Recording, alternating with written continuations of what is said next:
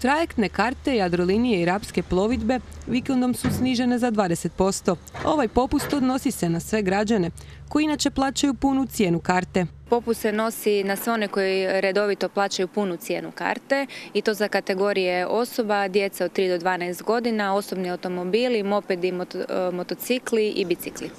Jadrolinija i Rapska plovidba prihvatili su preporuku nadležnog ministarstva, odnosno Agencije za obalni linijski prijevoz.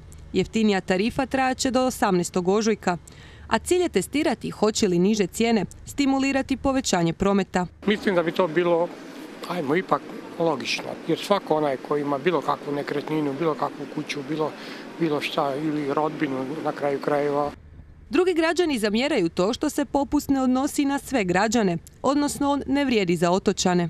Šokiran sam sa ovim, stvarno ovo nisam znao. Ovo je, to je onda to znači da svatko tko živi na otoku je osuđen na život na otoku. Ne možemo ići na neku diskriminatornu mjeru, a to ona jest. Ako je 20% sniženja, onda je za sve. Znači mora cirkulacija ići u oba dva smjera.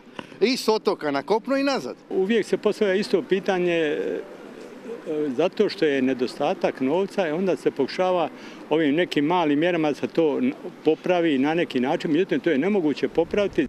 Gradonačelnik grada Cresa pozdravlja svaki pokušaj kojim se nastoji olakšati dolazak na otok, pa tako i ovaj pilot projekt.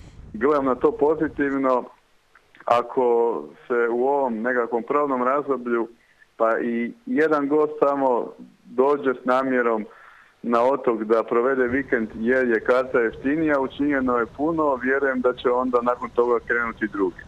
Po isteku navedenog probnog razdoblja, ovisno o učincima, razmotrit će se mogućnost daljnje primjene ove mjere.